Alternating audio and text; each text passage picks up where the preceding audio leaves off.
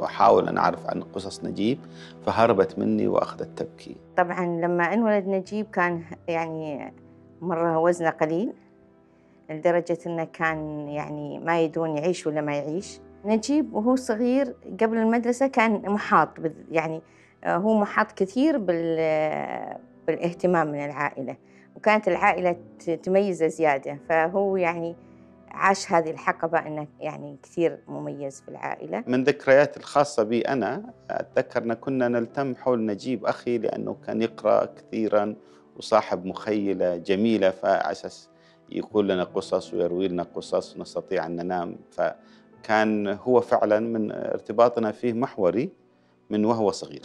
اللي أذكره من الوالد إنه درس طبعا هو قال لي إنه درس في مدارس أرامكو اللي في رحيمة اللي حاليا تسمى راسة النورة تسلل إلى مكتبة المجمع السكني لموظفي أرامكو. كان الكتاب مسرح طفولة نجيب الطفل النجيب. وما لم يستطع فعله في الواقع كان يفعله في الخيال. تعرف على أمينة المكتبة اللي كانت أمريكية واللي شافت فيه نهم حب التعلم خصوصا في اللغات فبدأ يتعلم معها اللغة الإنجليزية. بدأت تعطيه كتب فيها أفكار أعمق وأغزر. فأعجب أعجب باللغة أعجب بقوة البرهان أعجب بقوة الفلسفة اللي موجودة وبالتالي تأثر هو فيها. بدأ يحس أنه في عنده مستوى ثاني. وبدأت تقل عنده مثلا الاهتمام بالمشاعر الدينية مثل الصلاة أو هلم جرة الأشياء هذه ولاحظها عليها مدرس اسمه المدرس الغزاوي اسم عائلته. وكانت أشهر كلمة قالها الوالد أن نحن نصلي والصلاة تغيرنا ونحن نغير العالم. بحد ذاتها هذه كانت يعني كلمة مفصلية رجعت الوالد لصوابه وفعلا بدأ اعتناقه للدين وإيمانه أكبر لأنها كانت نتيجة قناعة وليست نتيجة ولادة أو وجد نفسه في محيط إسلامي. ولكن كان في الدراسة كثيرا ما يغيب لظروفه الصحية. فالحمد لله المسيرة الابتدائية كان متفوق وتجاوزها إلى المرحلة المتوسطة في في راسة النور. المعلمين كلهم يحبوا نجيب ومعجبين فيه ففي. في الفترة المتوسطة تفوق ولكن نفس المشكلة أنه يحتاج أن يذهب إلى المستشفيات. انتظرت الأسرة انتهاء نجيب من الشهادة المتوسطة لينتقلوا إلى الدمام. وفي ثانوية الدمام واصل نجيب تفوقه. وبعد الثانوية انتقل إلى الرياض لالتحاقه بجامعة الملك سعود.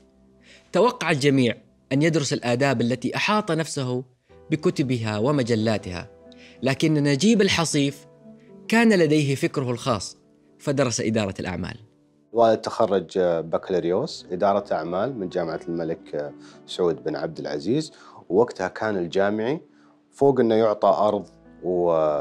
وقرض خمسين ألف بعد كان لازم يروح آه، يباشر أعمال. في أعمال كانت تلزم فيه المتخرجين. أخي نجيب آه، ذهبت أنا ومعه إلى المستشفى فلما عمل تحليل التحليل كان محتاجه ممكن للعمل في في الموانئ. لما عملنا تحليل كان هناك زلال في في الفحص. ربما هذه كانت بداية الفشل الكلوي عنده ربما لو استمعنا كلام إلى كلام الطبيب وجدنا أن بوادر الفشل الكلوي في أخي نجيب وعالجناها. ولكن الحمد لله على على على كل حال. في الموانئ في المؤسسة العامة للموانئ اشتغل في آه، شؤون موظفين وبعد فترة أصبح رئيس شؤون موظفين وخلال فترة أخرى انتقل إلى إدارة التدريب. وهذا يعني المكان الذي يعجب أخي نجيب كثيرا. طبعا تم اكتشاف المرض سبع شهور بعد الزواج. راح للدكتور وبعد مغص شديد آه، الدكتور سوى له أشعة واكتشف أنه عنده ضمور في واحدة من الكلى ما تشتغل نهائيا.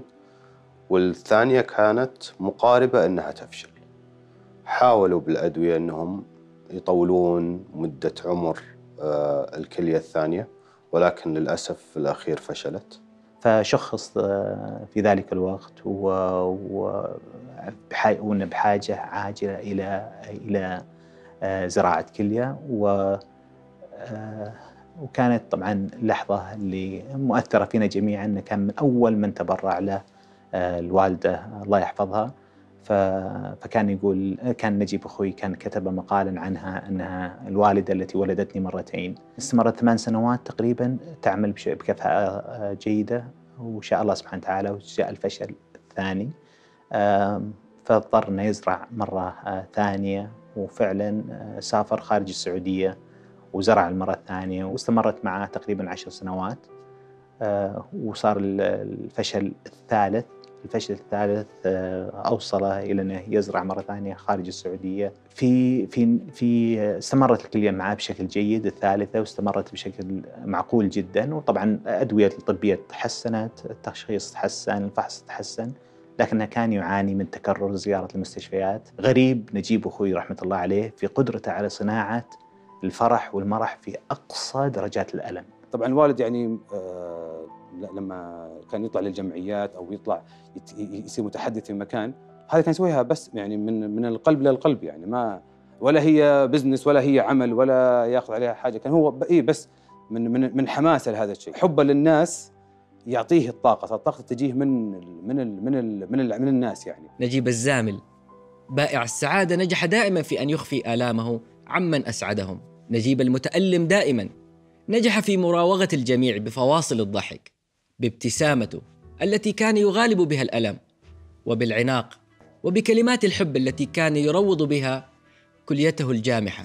بأمر من الوالد رحمه الله آه، خرج نجيب أخي من المؤسسة العامة المواني للعمل آه، في الأعمال التجارية آه، لنا كلنا. عمل لمدة سنتين أو ثلاث سنين معنا ثم قرر أن يبدأ أعماله التجارية الخاصة. استمر في المقاولات لكن المقاولات المتخصصة جدا.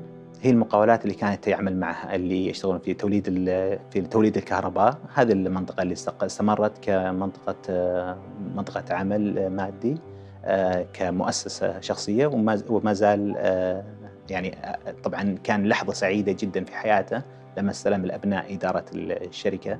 فكان الثروة اللي حققها يعتبر انه حققها من هذه الشركة هو ليس الثروة المالية بقدر ما أن ابنائه استلموا هذه الشركة. فكان هذه لحظة رائعة وتحدث فيها دائما أن ابنائي يمسكوا لشريك لم يعنه المال ابدا في حياته.